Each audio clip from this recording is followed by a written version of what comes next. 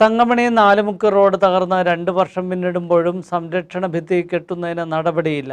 അപകട ഭീഷണി ഉയർത്തി ഏറെക്കാലമായി നിലകൊള്ളുന്ന റോഡിൽ അധികൃതർ വീപ്പ സ്ഥാപിച്ച് റിബൺ കെട്ടിയതല്ലാതെ മറ്റൊന്നും ചെയ്തിട്ടുമില്ല. കഴിഞ്ഞ ദിവസം പെയ്ത മഴയിലും റോഡ് കൂടുതൽ ഇടിഞ്ഞിരിക്കുകയാണ്.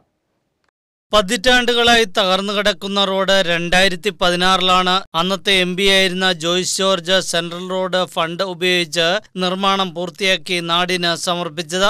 ജില്ലാ ആസ്ഥാനമായ ഇടുക്കി തങ്കമണി ശാന്തിഗ്രാം നാലുമുക്ക് റോഡാണ് സി ആർ എഫ് ഫണ്ട് ഉപയോഗിച്ച് ജില്ലയിൽ ആദ്യം നിർമ്മിച്ച റോഡ്. രണ്ടായിരത്തി ഇരുപത്തിയൊന്നിലെ പ്രളയത്തിലാണ് ഇടുക്കി താണ്ടാൻപറമ്പിൽ പാലത്തിന് സമീപത്തായി റോഡ് ഇടിഞ്ഞത്. എന്നാൽ സംരക്ഷണ ഭിത്തി കെട്ടുവാൻ തയ്യാറാകാതെ അധികൃതർ വീപ്പ വച്ച് റിബൺ കിട്ടിയതല്ലാതെ മറ്റ് നടപടികളൊന്നും ചെയ്യാൻ തയ്യാറായിട്ടില്ലെന്ന് നാട്ടുകാർ ആരോപിക്കുന്നു. ജോർജ് എം പി ആയിട്ടിരുന്ന കാലത്താണ് ഈ റോഡ് ഇവിടെ ആദ്യമായിട്ട് പണിയുന്നത്.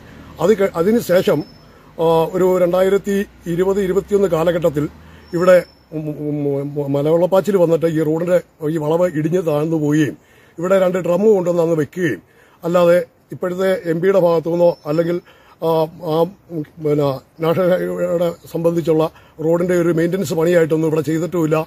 ഇതിപ്പോൾ ഇടിഞ്ഞ് കിടക്കാൻ തുടങ്ങിയിട്ട് തന്നെ നാല് വർഷത്തോളം ആവുകയാണ്. കഴിഞ്ഞ ദിവസത്തെ മഴയിൽ റോഡ് കൂടുതൽ ഇടിഞ്ഞിരിക്കുകയാണ്. കൊടുംവളവും കാഴ്ചമറയ്ക്കുന്ന മരങ്ങളും ഉള്ളതിനാൽ അടുത്തെത്തുമ്പോൾ മാത്രമാണ് റോഡ് തകർന്നിരിക്കുന്ന വിവരം ഡ്രൈവർമാർക്ക് മനസ്സിലാക്കാൻ കഴിയുകയുള്ളൂ. പലപ്പോഴായി ചെറിയ തോതിൽ ഇവിടെ വാഹനാപകടങ്ങൾ നടന്നിട്ടുണ്ട്.